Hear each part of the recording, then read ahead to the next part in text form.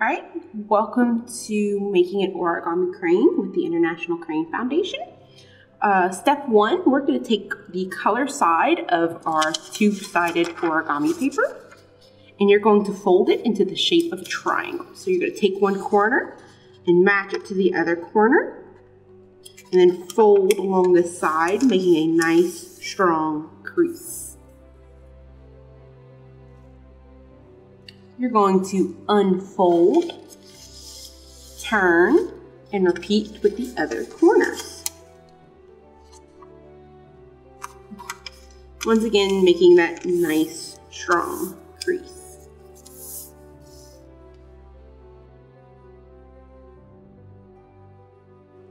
So step two, we're going to unfold our colored piece of paper, flip it over onto the blank side, and now we're going to fold it into a rectangle shape.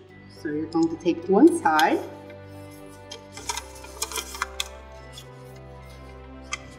fold it over,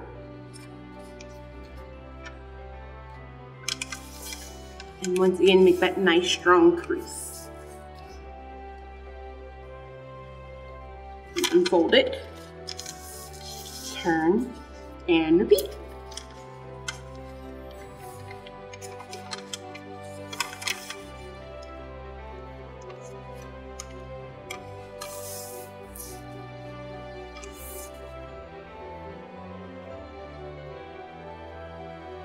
For step three, we're going to unfold it. And then going to push all of these folds toward the center. Something like this. And gonna look something like a square. I'm gonna make sure that open end is facing you. Step four, we're gonna take the top layer the top layer of our square. Starting with the right side, we're going to fold it in toward the center.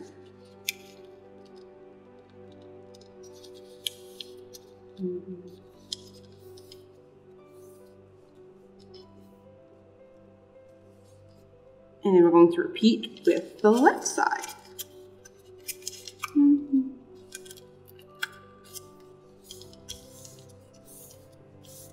So on the top now you should have a nice pretty kite shape. You're going to flip it over and repeat.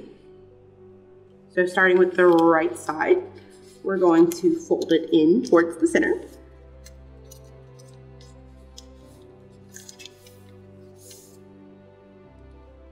And then repeat on the left side.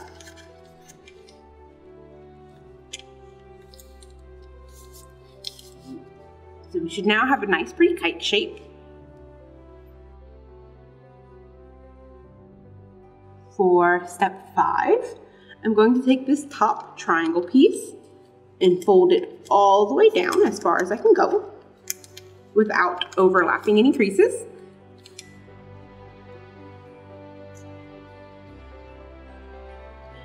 And then I'm going to push it back up, flip it over, and repeat.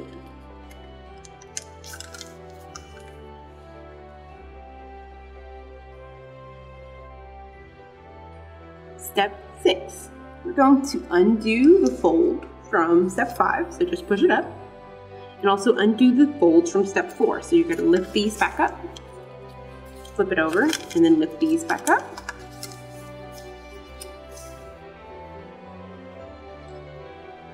Now the next part is to take this bottom corner on this very top square and you're going to lift it up to the crease you made in step five. All right, we're gonna end up with this nice open diamond shape. And then the next part of this is to take this side and to fold it in.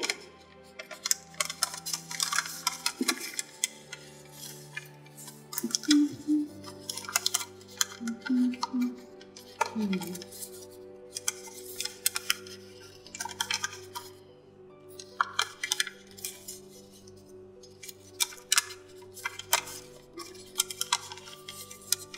Take you a minute. Just like that. And then we're going to repeat on the left side. Taking this and folding it in.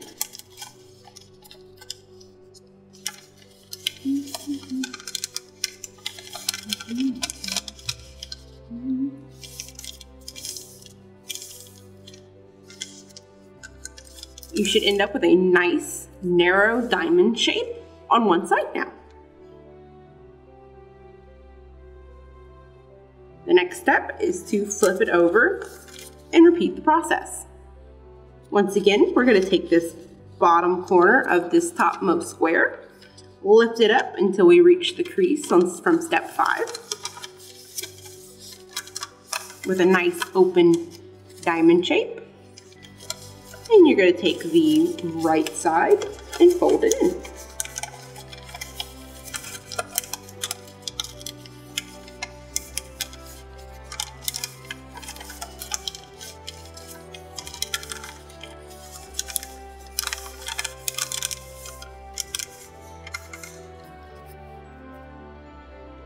And then you're going to turn it and repeat on the left side.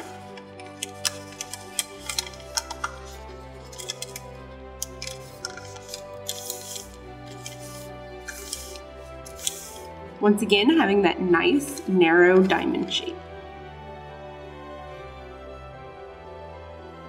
Step seven. Once again, we want to make sure those free moving sections are facing you.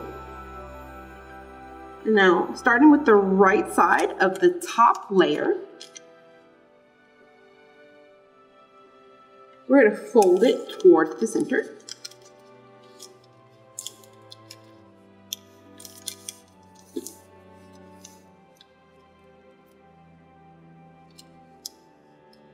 And then we're going to turn and repeat with the left side.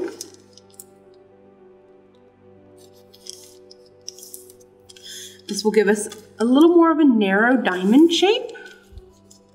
You can see. And then you're going to flip it over and repeat on the side. So once more, taking that right side and bringing it in to toward the center.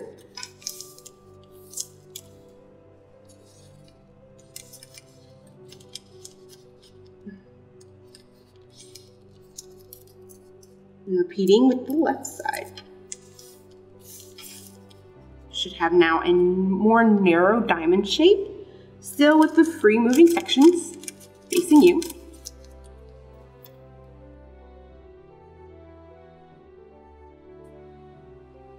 Step eight, we're going to now take the top layer and fold it from right to left, just like you would with a book and opening up that middle section.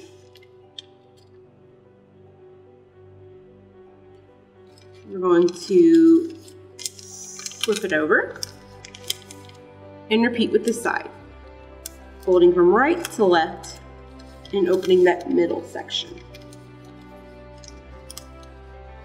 As you can see, it's no longer a free moving section, which is what you want. So at step nine, we're going to take this bottom section and lift it up as far as you can go without ripping it. And make a nice crease there.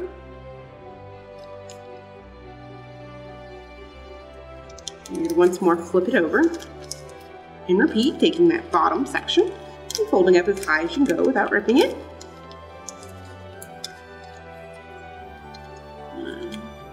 As you can see, we now are starting to have something that looks like a crane.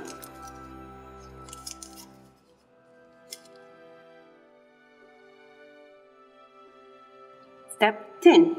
We're going to once more take this top layer and fold it from right to left, just like a book. Opening up to our wing section. You're going to want to flip over and do it again, folding from right to left, bring up that other wing section.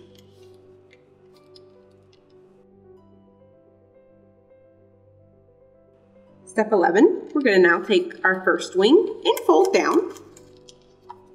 You don't want to go too far down, um, just enough so you can see the you can see a little bit of the body part of the crane. And once you got that wing down, you can flip it over and do the other wing.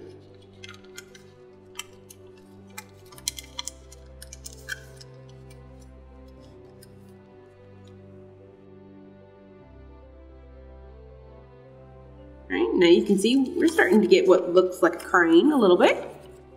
Now you're gonna have these two skinny pieces in the middle. Um, for step 12, it is up to you to decide which one's going to be the head which one's going to be the tail.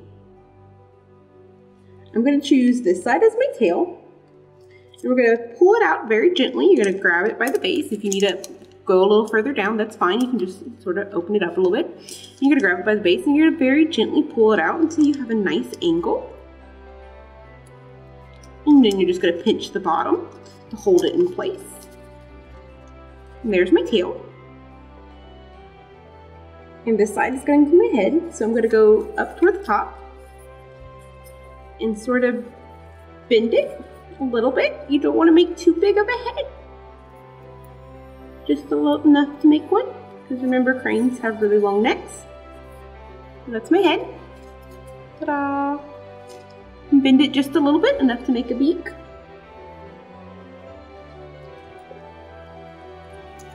Now if you want, you can kind of very gently grab it by the base of the wings and kind of pull it out just a little.